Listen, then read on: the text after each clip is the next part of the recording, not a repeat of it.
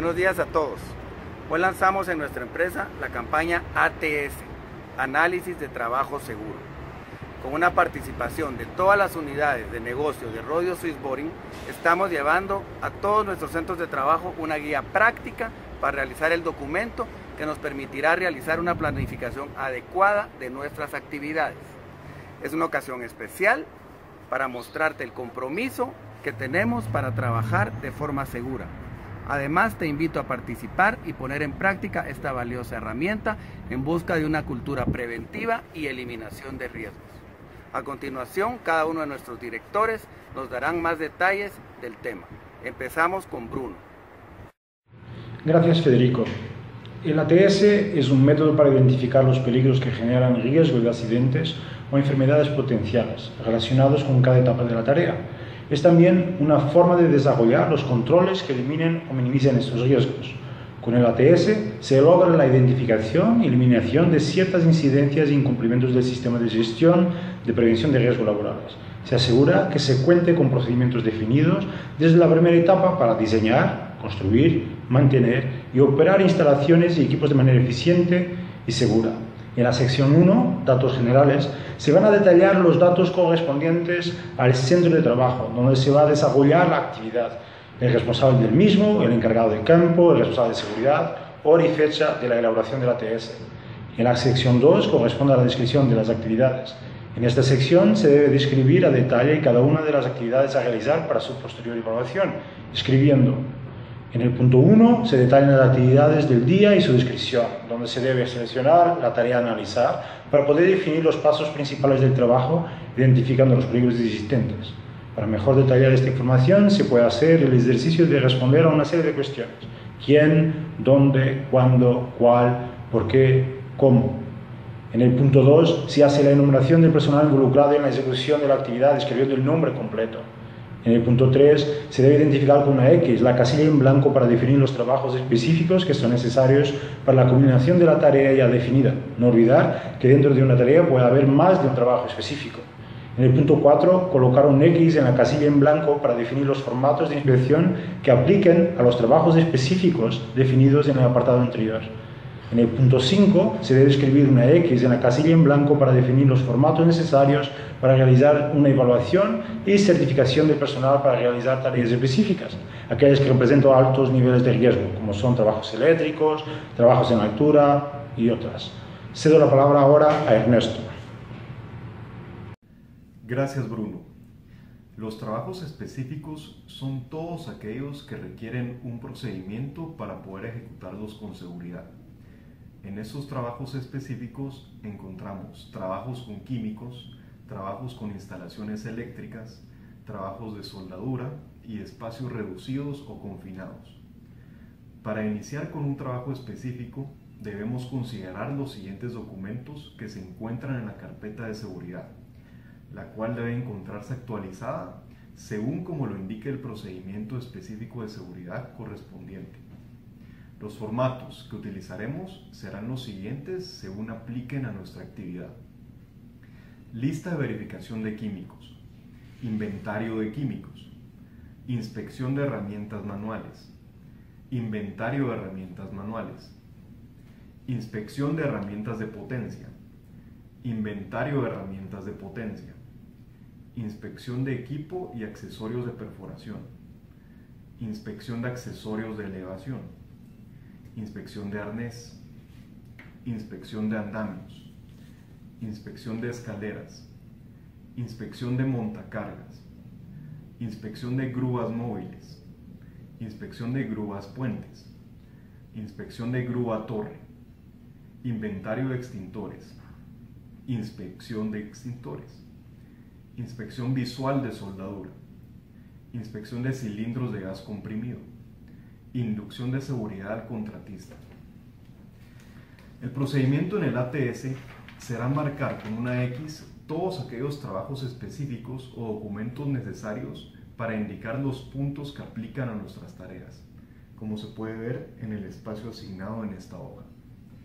Por último, se encuentra la certificación del personal, las cuales son todas aquellas actividades que requieren un permiso de trabajo ya sea el permiso de trabajo eléctrico, permiso de trabajo en altura, permiso de trabajo en caliente o el permiso de trabajo en espacios confinados, como se puede ver en esta última línea.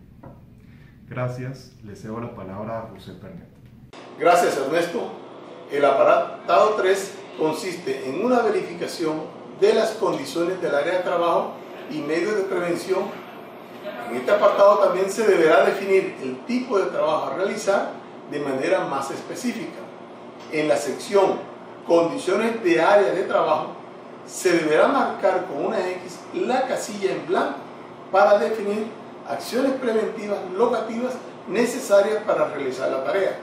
En la sección de medios de prevención colocaremos una X en la casilla o casillas en blanco necesarias para definir acciones preventivas de gestión administrativa necesarias para realizar la tarea. La sección tipo de trabajo en altura se llenará cuando aplique y es donde se define la plataforma o medio estructural de trabajo en alturas. La sección tipo de trabajo en caliente se llenará cuando aplique y colocaremos una X en casilla en blanco para definir el tipo de trabajo y el equipo o instrumentación a utilizar para llevar a cabo dichos trabajos. La sección de bloqueo etiquetado se llenará cuando aplique y aplicará a los trabajos eléctricos.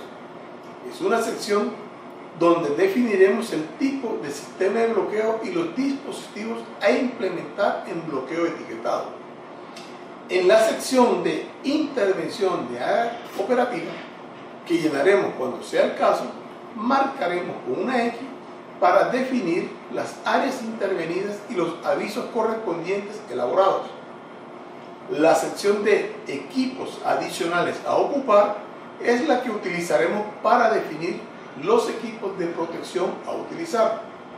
Y en la sección tipos de espacios confinados que llenaremos únicamente cuando tengamos trabajos de este tipo, marcaremos con una X el tipo de espacio físico dentro del cual se realizarán las operaciones. Cedo la palabra a Fred. Muchas gracias José. Ahora vamos a explicar el apartado número 4, que es el listado de actividades y análisis de riesgo. El apartado número 4 del ATS es el cuadro que podemos ver acá arriba, que se va a apoyar, para poderlo llenar debemos apoyarnos en el apartado 5 y en el apartado 6. El apartado 4 básicamente es para la actividad que nosotros estamos desarrollando, este ATS, debemos dividirla en los diferentes pasos que vamos a ejecutar para desarrollar esa actividad. Aquí hay cinco espacios, si eventualmente fueran más pasos los que componen esa actividad, pues simplemente llenamos una boleta adicional. Entonces, y si no, evidentemente, pues llenamos la 1, 2, 3, los pasos que haga falta para completar la actividad.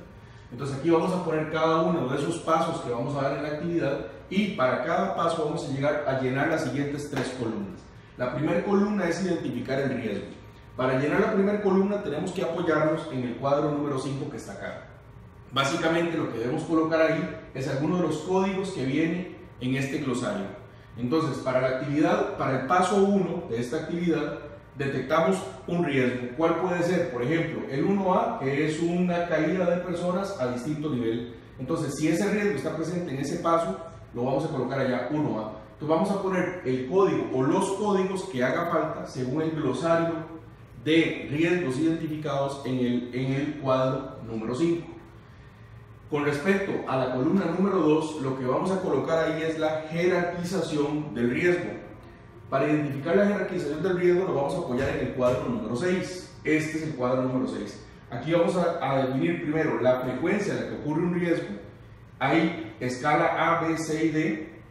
Esta frecuencia aquí pueden eh, leer con detalle. Por ejemplo, la esporádica es un riesgo que eventualmente podría darse una vez, por una vez al año. O por ejemplo la continua, que es un riesgo que podría darse eventualmente cada semana o cada día. Entonces, en función de eso ya vamos a definir la frecuencia. Y por el otro lado vamos a definir la severidad del daño con cuatro escalas, donde uno es la más grave de todas, donde eventualmente podría haber un, un deceso, y la, la, cuarta es donde eh, el daño es más leve o el potencial daño es más leve. Nos vamos a ir a esta tabla y entonces aquí vamos a cruzar la frecuencia que hayamos definido para ese paso. Por ejemplo, es, un, es una actividad donde el riesgo podría darse esporádicamente y por el otro lado con el nivel de daño que podría causar. Entonces, si esporádicamente se, podría materializar ese riesgo y nos va a ocurrir un daño, uno que es de los más graves, pues entonces nuestro riesgo se eh, categorizaría como alto. Eso es lo que tenemos que poner en esta columna. La palabra bajo, medio, alto, muy alto, en función de lo que obtengamos de esta matriz. La última de las columnas serán las acciones preventivas.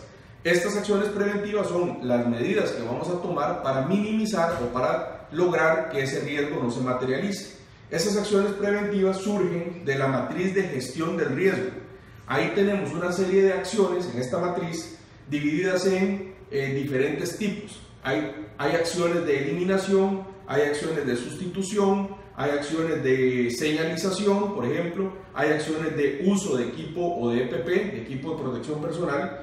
Entonces, ese tipo de acciones son las que vamos a colocar a, cada uno de los pasos cuál va a ser la señalización específica que debamos poner, cuál va a ser el tipo de equipo de protección personal específico que debemos asignar o dar al personal para ese paso en concreto.